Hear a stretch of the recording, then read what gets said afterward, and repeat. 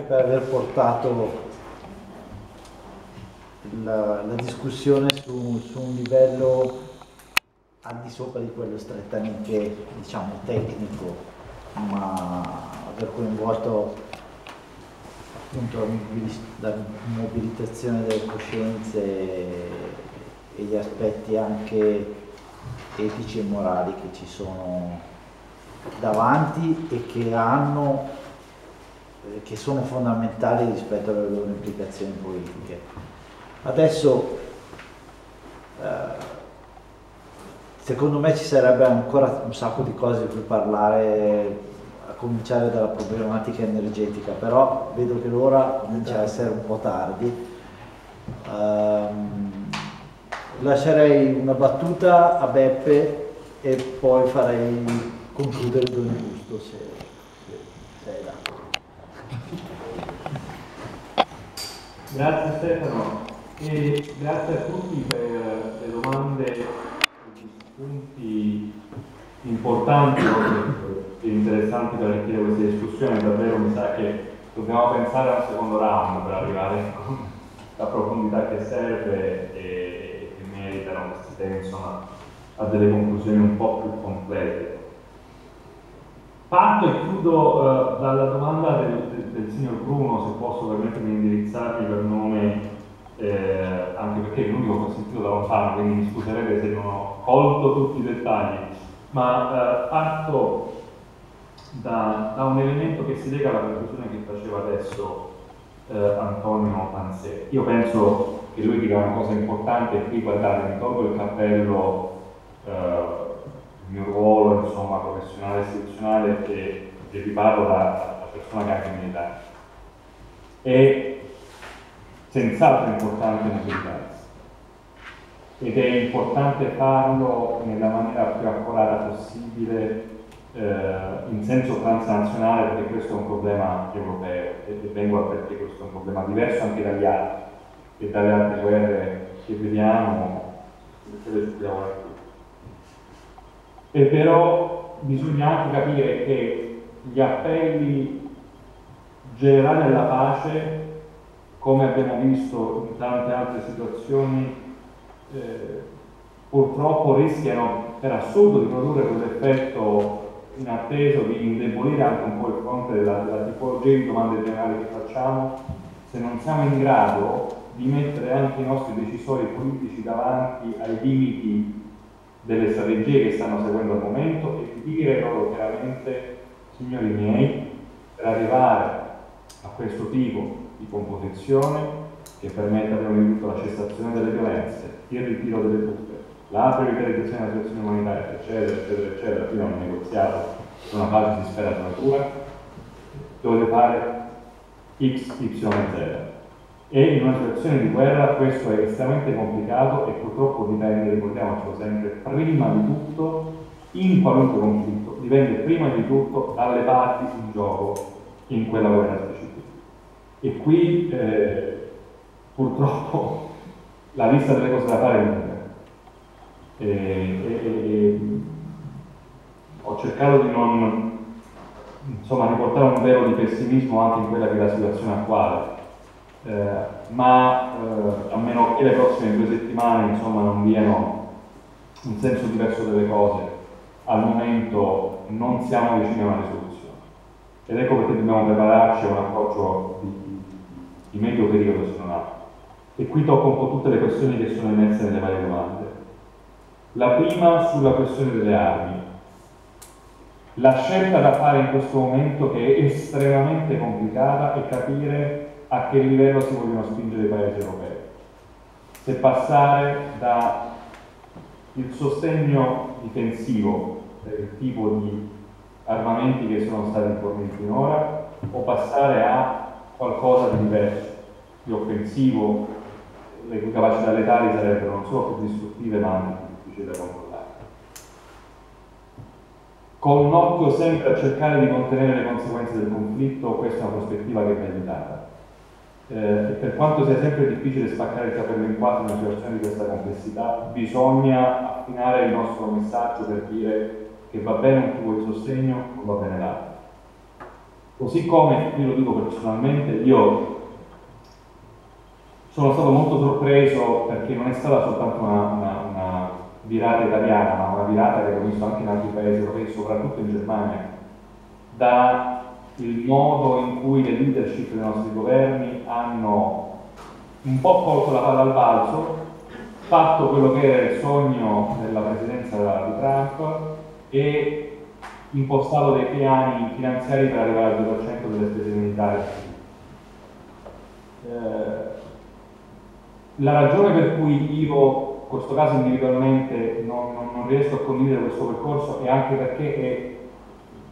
senza senso parlare di incrementi generici delle spese militari, bisogna capire per chi, per cosa, in che prospettiva politica e strategica, che cosa vuol dire aumentare le spese militari, se parliamo di equipaggiamenti, se parliamo di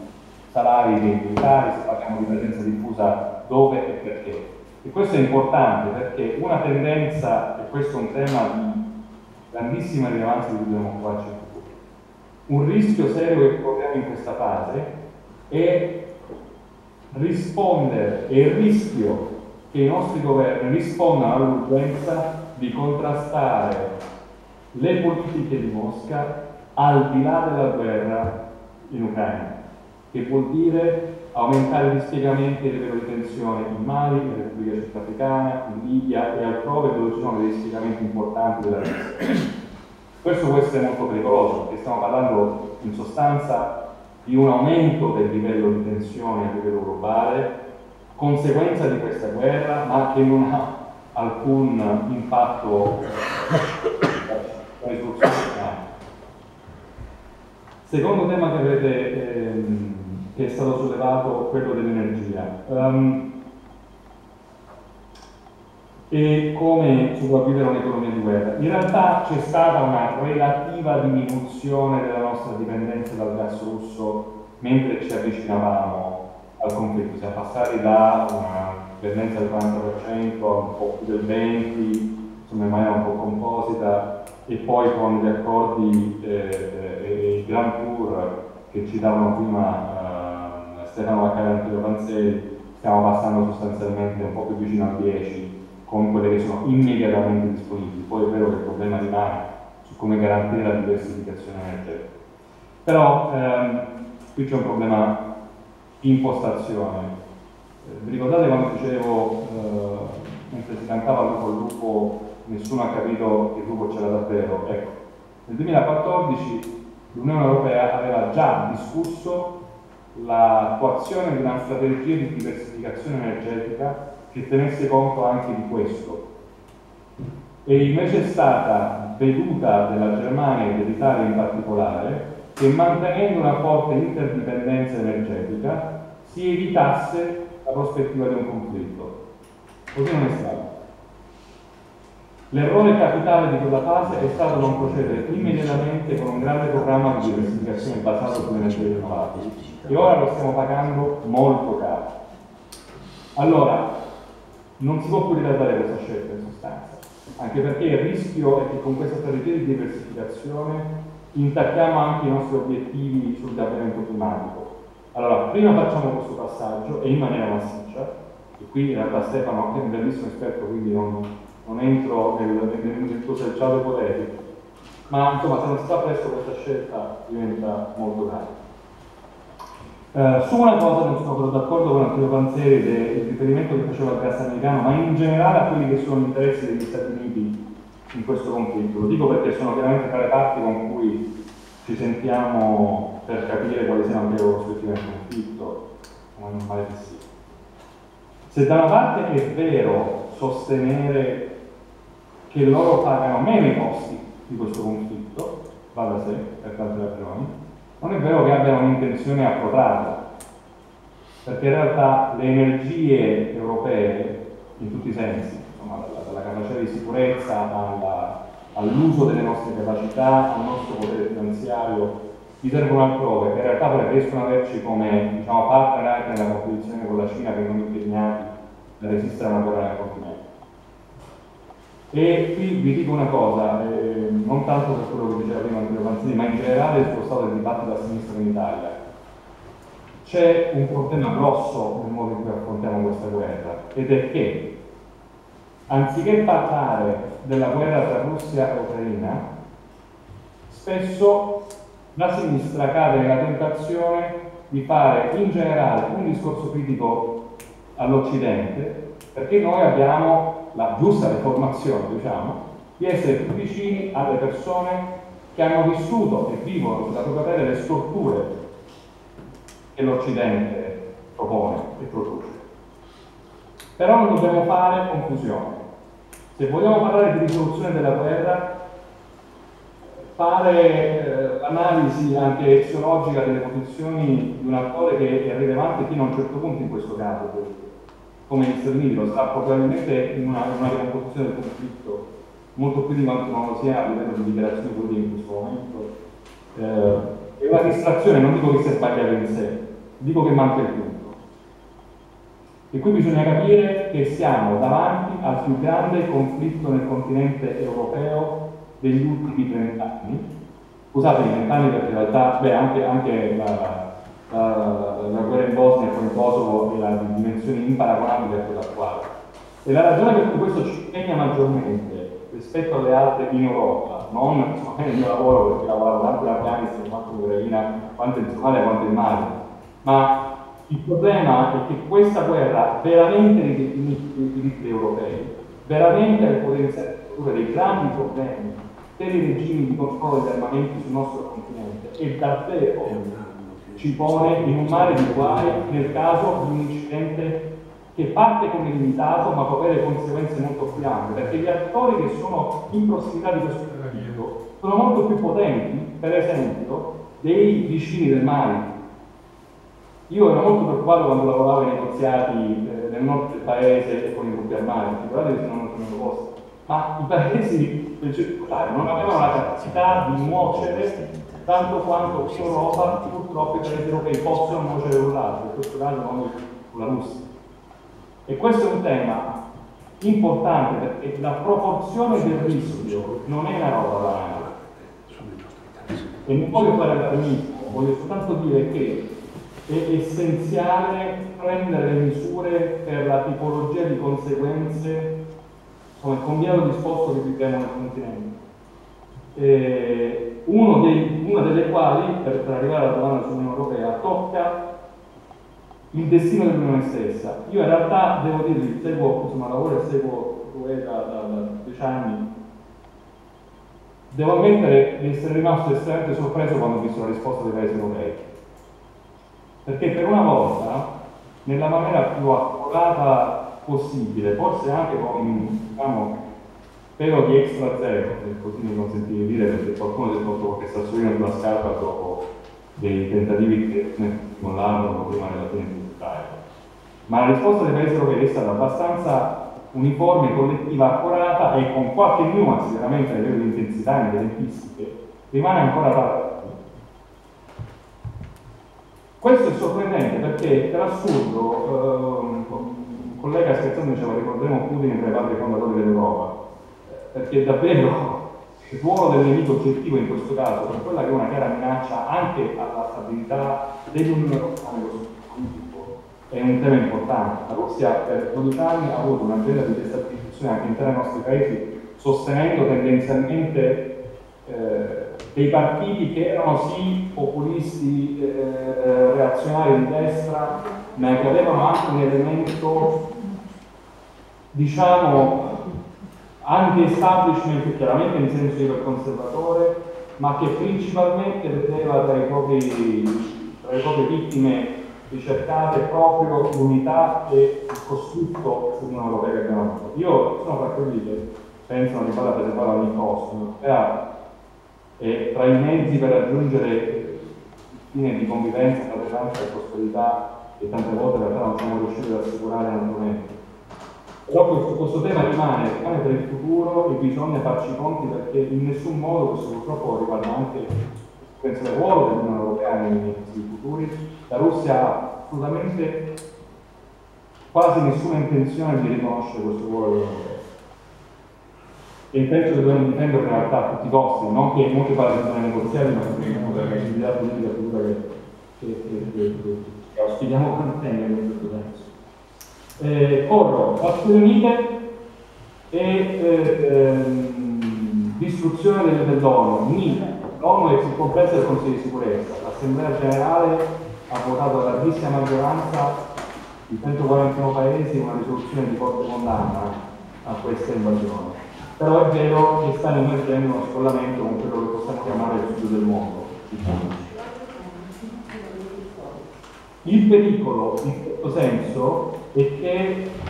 ci troviamo davanti a un ritorno a una logica di eh, avanzamento degli obiettivi delle grandi potenze, quindi anche della Cina e della Russia, eh, capitalizzando l'insoddisfazione dei paesi del, del, sud del mondo, che già hanno, insomma, intrattengono rapporti commerciali di sicurezza molto vicini sia con la Cina che con la Russia rispettivamente, e che nelle condizioni di impegno in europea, perché di solito quando noi proponiamo la cooperazione poniamo le condizioni di Stato di diritto, cooperazione, eh, eh, eh, insomma, elementi valoriali europei che sono difficili di attuare a volte per i paesi del sud del mondo, quindi preferiscono avere anche un legame più semplice da gestire con la e la Cina. Questo è un tema su cui vale la pena interrogarsi, vuol dire anche salvaguardare gli obiettivi di democratizzazione che non europea. E qui ci troveremo con un problema importante che purtroppo qui non possiamo non possiamo, non possiamo sviluppare. Chiudo sul ruolo dell'Italia per i negoziati. Um, Draghi è stato abbastanza attivo dietro le quinte, è uno dei capi di governo che insieme alla Francia, alla Germania, alla Turchia ha mantenuto, ha cercato di mantenere anche un, un insieme di aperture eh, importanti pur, pur insomma, sostenendo la, strategia occidentale eh, diciamo, di sostegno militare e di, di, aumento della, delle, delle sanzioni verso Mosca. Avremo però dei limiti forti a sostenere questa economia eh, non tanto per, per, per, la dimensione energetica soltanto, quanto per i rischi che, una, che un conflitto protratto in Europa eh, produca dei costi per l'instabilità diffusa che questo andrà a creare in Europa, che vuol dire maggiori investimenti non tanto perché vogliamo svilupparci un certo, una certa direzione, ma perché dobbiamo difenderci da una serie di altri problemi diffusi. Questa guerra sta portando già delle conseguenze grosse da stabilire nei Balcani, nel Caucaso, parzialmente in Africa occidentale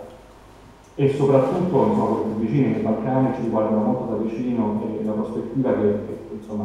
l'Europa ci si, ne rimanga coinvolta significa anche dei costi dello sviluppo, ma significa soprattutto anche dei costi di ordine sociale. Eh, qui Don Giusto ne, ne avrà molto da dire, ma 5 milioni di rifugiati in Europa sono un numero alla portata storica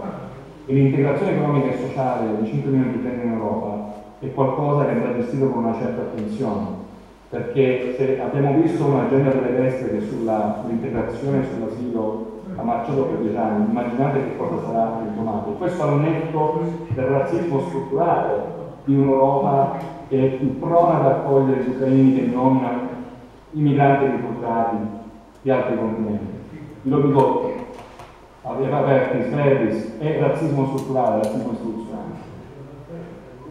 Ehm, e su questo chiudo perché c'era una domanda in realtà anche per tornare appunto al signor Bruno in apertura su, su, come porre questi temi in maniera forte e ha citato